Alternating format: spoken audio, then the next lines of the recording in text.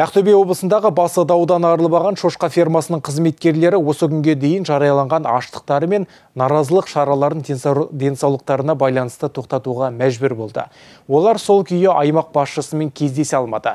Енді Бестамақ ауылының тұрғындары билік органдарына жағдайда экологиялық апат ауқымына жеткізбеу және ешбір жағдайда өлген жануарлардың өлекселерін өртемеу туралы талаптарын қойып, наразылықтарын білдіруде.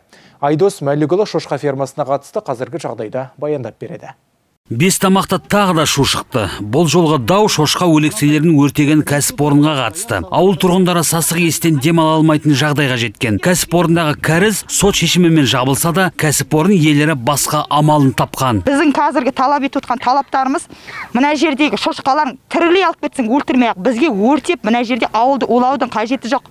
12 жылдан бері біз осы иіске нәтиженің иісіне демалып келдік қор болып келдік. Енді қазірде қалған жерде бұлардың пассиві падежі болады деп мына жерде біз қазір ауыл міне жаз ысып келе жатыр.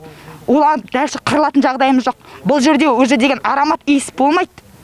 Бұл жерде нәтиженің иісі болмайды. Бұл жерде май құйқа және де боқтың иісі шығады ертеңгі күні өртенгенде. А қандамай қаншама ауру шығады. Мен деген беш тамақтың халқын мына боқпенен не улап құртып жіберемін. Дейді ал айтуға болады одан кейін.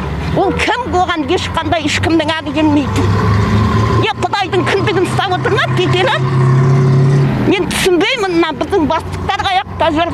Мынау өзін сам по себе государство акимат сам по себе все по себе ходят.